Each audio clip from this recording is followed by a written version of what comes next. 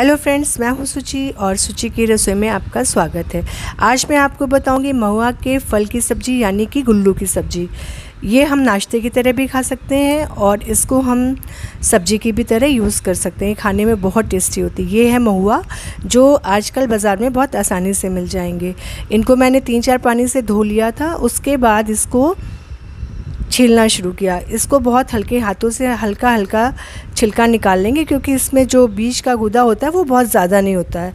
इसमें बहुत सारे बीजे होते हैं किसी किसी फल में तो हम बीजों को अलग कर देंगे इस तरीके से।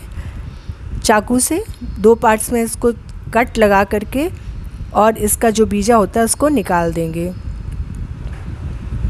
जब भी आप महुआ की सब्ज़ी बनाइए तो जब काटें तो उसको काट करके फ्रिज में ना रखें उसको तुरंत बना लें।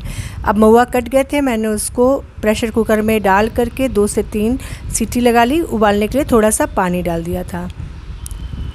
यहाँ पे हम कुछ मसाले लेंगे, जिससे कि हम एक पेस्ट तैयार करेंगे, जिसमें मैंने प्याज, थोड़ा ज़्यादा लहसुन, यानी कि 10 से 15 कलियाँ लहसुन, दो बड़े साइज़ के प्याज लिए थे।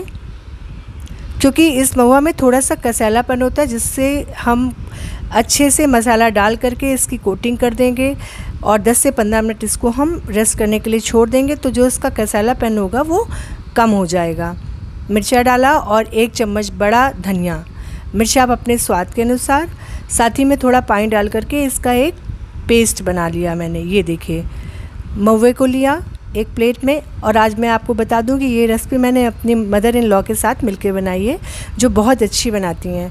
जी, अब इसके बाद मैंने इसमें जो पेस्ट बनाया था, वो डाला। ये मम्मी ने इसमें पेस्ट मिला लिया और फिर उसके बाद इसमें जो बचा हुआ मसाला था, उसको पानी से डाल करके वही मिक्स कर लिया। आधा कटोरी के करीब बेसन लिया है। बेसन अभी हम पूरा नहीं डालेंगे थोड़ा थोड़ा करके डालेंगे, क्योंकि अभी जब हम नमक डाल लेंगे, ये मैंने नमक डाला स्वाद अनुसार तो अभी ये पानी और रिलीज़ करेगा। ये देखिए तो जैसे ये थोड़ा सा ज़्यादा गीला हो जाए, इसमें एक बार और हम थोड़ा सा बेसन मिक्स कर लेंगे। इस तरीके से। अब हम यहाँ पर इसको मिक्स करने के बाद थोड़ी सी हल्दी डालेंगे, जिससे कि इसका रंग बहुत अच्छा आएगा फ्राई होने के बाद, भुजने के बाद। अब मैंने इसको 15 से 20 मिनट के लिए रख दिया। उधर मैंने कढ़ाई में थोड़ा ज़्यादा तेल, यानी कि दो बड़ा चम्मच के करीब तेल, जैसे ही तेल गरम हो गया, उसमें मैंने ज़ीरा डाला कि ज़ीरा गरम हो गया। वो मिक्सचर जो मैंने पंद्रह मिनट के लिए रेस्ट करने के लिए छोड़ दिया था, वो मम्मी ने इसमें डालना शुरू किया। ये देखिए। गुल्लू मैंने करीब एक किलो लिया था तो उसको जब मैंने काटा तो बीजा निकालने के बाद करीब आधा किलो ये बचा होगा। और ये देखिए, थोड़ी थोड़ी देर में इसको लगातार चलाना पड़ेगा। गैस की फ्लेम को हम लोग मीडियम टू हाई रखेंगे और इसको पलट पलट कर लगातार सेकते रहेंगे। ये देखिए।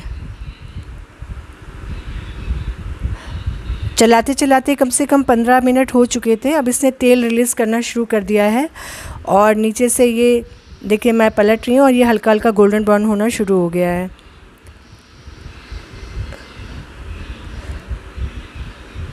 इसको लगातार चलाते रहेंगे। ये देखिए, इसको अच्छी तरह से चलाने के बाद हम लोग इसको देखेंगे कि ये हर एक गुल्लू जो होता है वो अलग अलग हो गया है। यानी कि हमारा ये आ, नाश्ता कह लीजिए आप इसको सब्ज़ी कह लीजिए बन के तैयार हो गई है।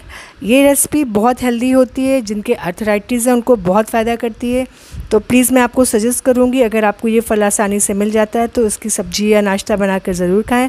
अगर आपको ये मेरी रेसिपी पसंद आई है तो इसको लाइक कीजिएगा।